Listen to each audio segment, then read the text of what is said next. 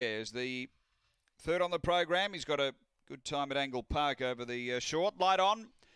A dollar fifty-five again now. Spring chip. We're ready.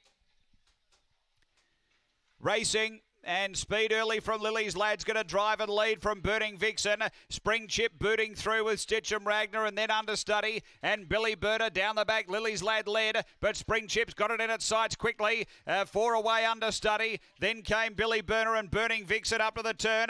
Lily's Lad about to be tackled by Spring Chip. Spring Chip takes a lead, gets home. Spring Chip first, Lily's Lad second. Third is understudy. Uh, then Billy Burner behind those Burning Vixen and uh, Ragnar. Was back at the end. The time here pretty solid around the 22.81 mark. After race number three, uh, Spring Chip uh, did everything he had to there. No great margin to it, but uh, got the job.